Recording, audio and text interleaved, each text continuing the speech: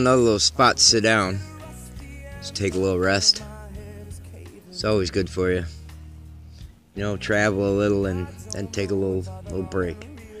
Um, one of my one of my dreams is to be able to survive in even worse weather than this out in the wilderness. I definitely want to do that. That's on my bucket list of things to do.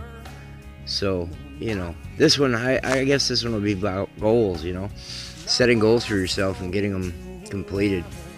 Uh, that one's a long-term goal. That's going to take some time, take some preparing, and uh, you know, getting everything in line for that to happen. Um, it's definitely not an overnight thing, but uh, you know, little hikes like this are, are, are smaller goals to get me towards that.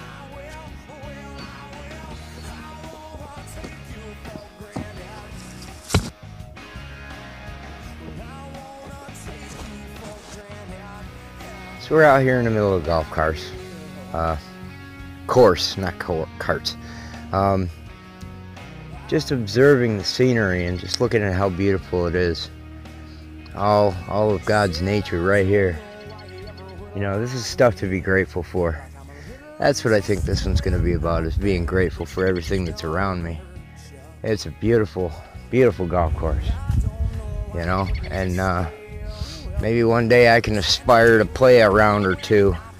Um, coming up on this beautiful pond, I'm going to have to get a picture of it for you. It's pretty nice.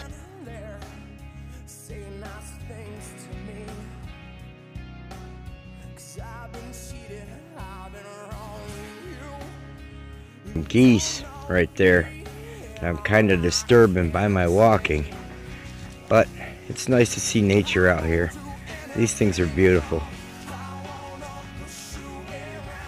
So how can you not just love this panoramic scenic view? You know, all of this is around me. Them geese, they're right there. Just chilling out. Being aware of me, me being aware of them. Well, I'm at the last stop off of the day. Homestead's in sight. I'm taking in all the other sights. It's just a beautiful day. Beautiful scenery. Sometimes you gotta just take the take the time to take all that in. I mean, there's a lot around you to take in. These trees, these ponds, these trails.